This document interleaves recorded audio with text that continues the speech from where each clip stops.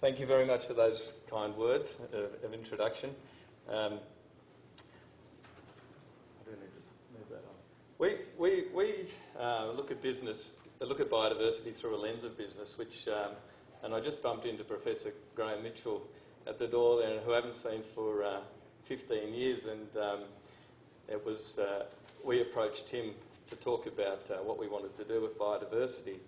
Um, and he, uh, he Gus and uh, their partners spent a lot of time with us um, with uh, saying, what a novel idea, what a great idea, you know, how, how can we support you guys going forward? And um, I think uh, collaboration and partnership is, is, is, a key to everything that we're doing going, going forward with, um, with biodiversity. Um, and the University of Melbourne, uh, the support that they're giving us um, it's been fantastic, Professor Ary Hoffmann and Dr. Andrew Weeks particularly. We wouldn't be getting any of the success uh, without them.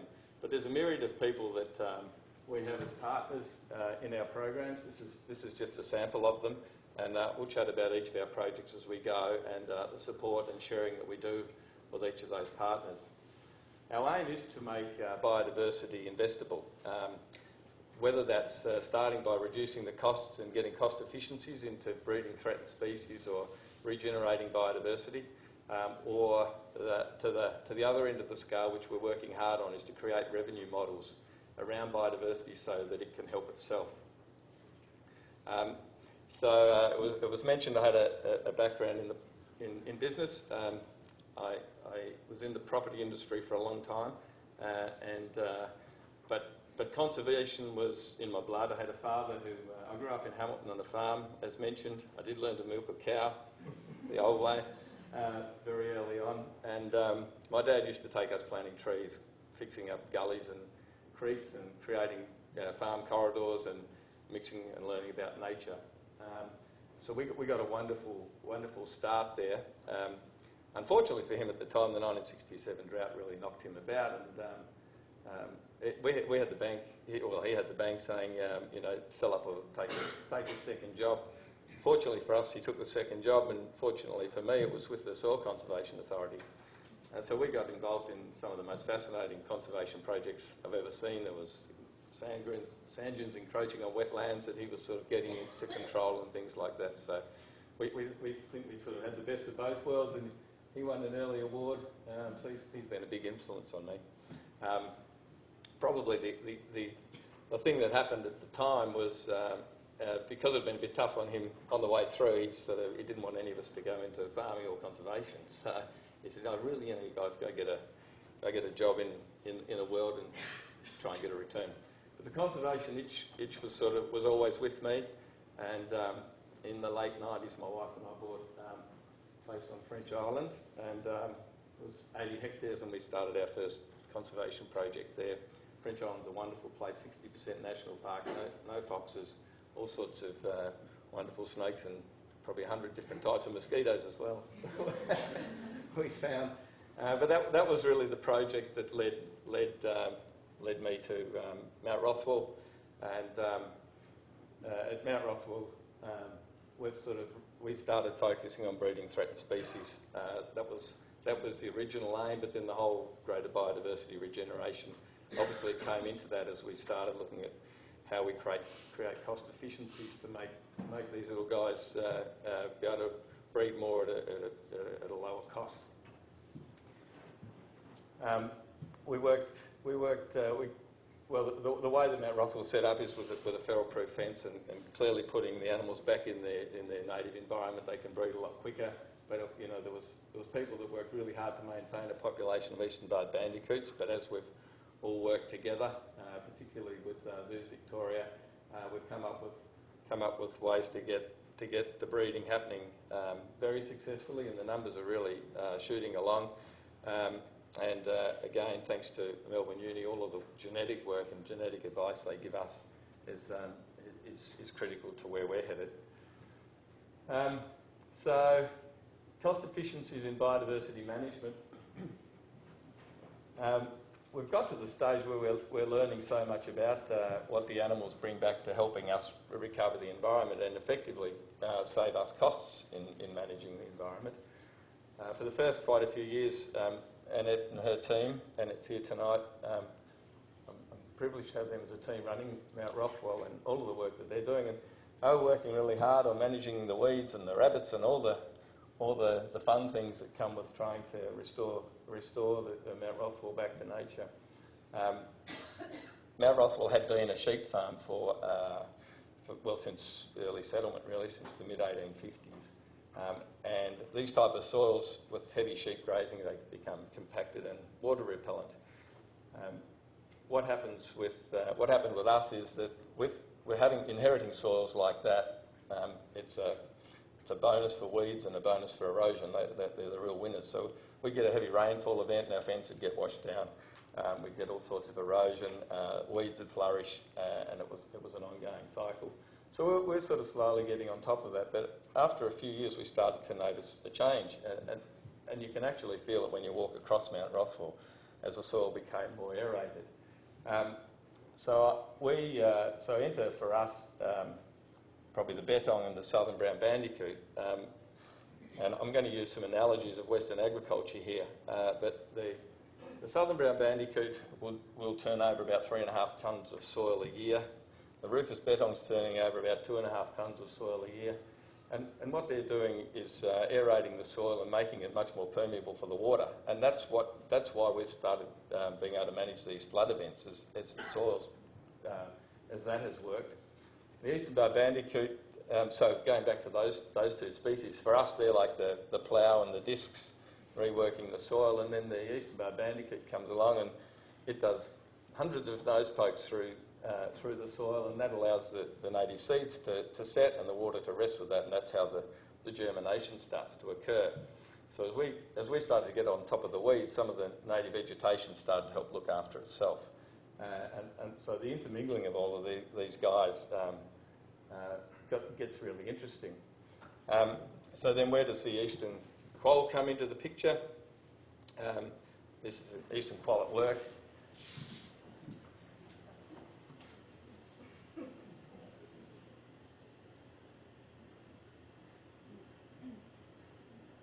These, these guys are, are, helping us with rabbit management. They're taking over the rabbit warrens, uh, which is taking away the breeding of the rabbits, which therefore helps us with some costs about managing rabbits, which has been a real issue for us going.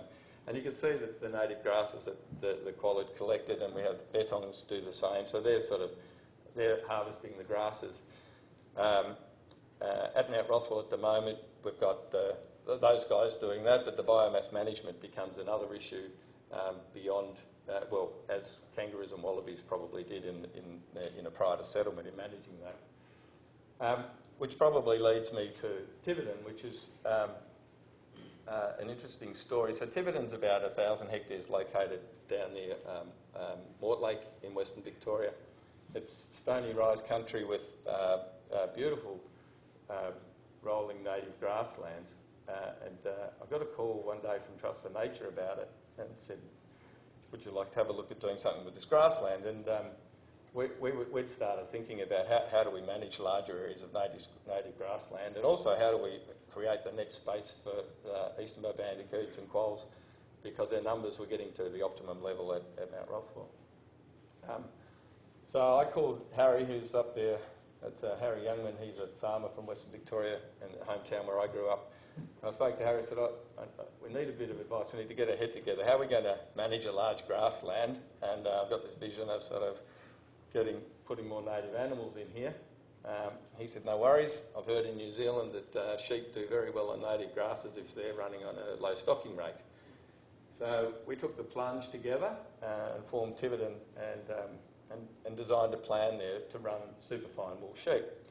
Um, what we discovered there over time was that we were getting, we were topping the wool markets locally. And um, so our wool was superfine like all superfine, good superfine wool, but what, what we'd found is that we, we grew a unique tensile strength, a consistent wool staple. Um, and, um, and the buyers were starting to pay for that. Um, the explanation of that is that, that the, the, the, native grasses are perfect to give a consistent, uh, a consistent and diverse enough nutrient and regular nutrient range to make that strong wool. So we're starting to talk to international fashion designers now about you know making garments out of this wool to get another another level of return. Um, and um, so that, you know, there's the sheep, and that was our sort of our little little certificate we got about when we topped the wool markets with these sheep.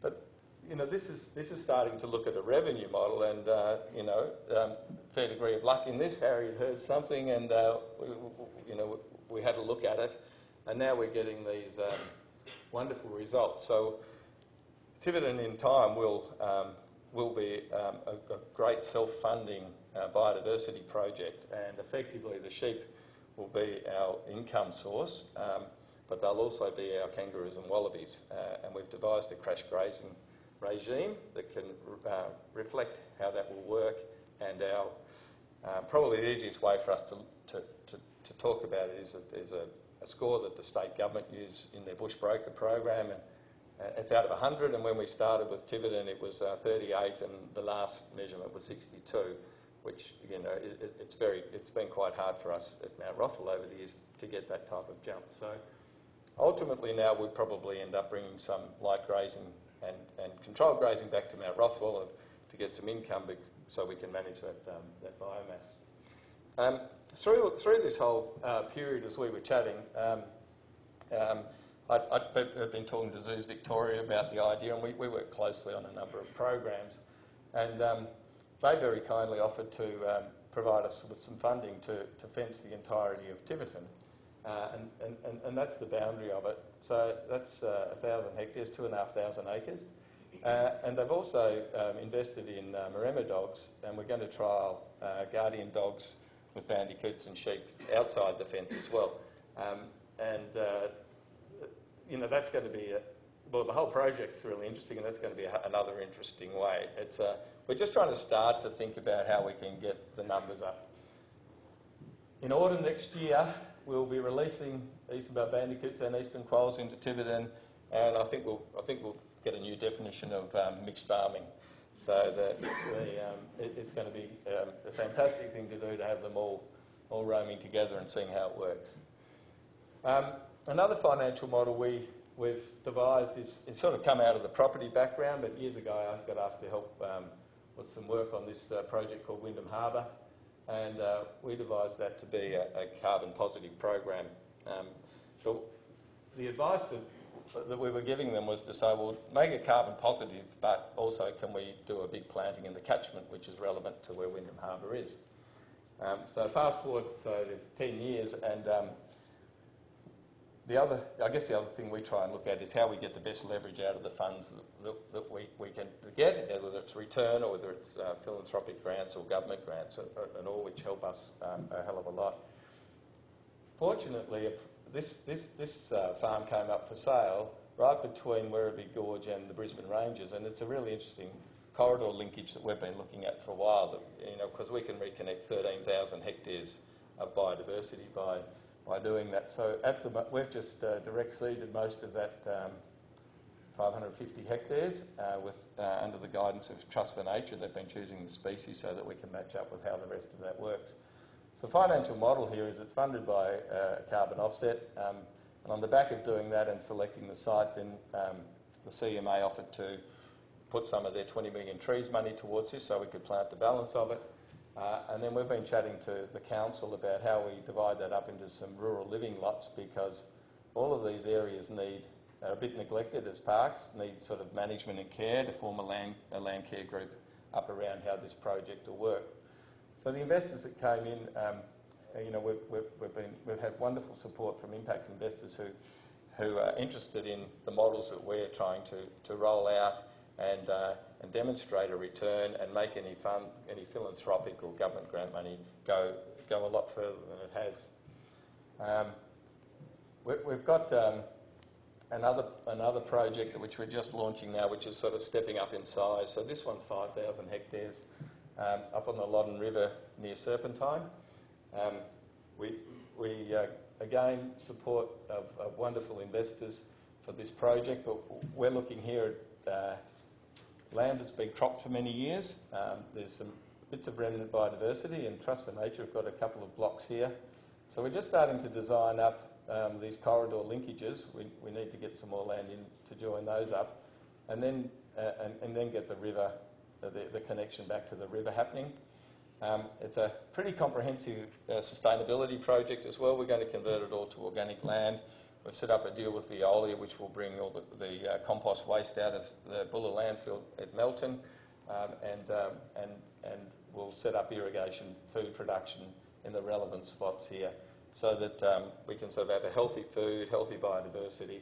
Up here we'll set up as a sanctuary uh, and, and, and we're just uh, talking and it's just having a look at what species we might work with up there and, um, and, and Andrew Weeks has been up there recently as well.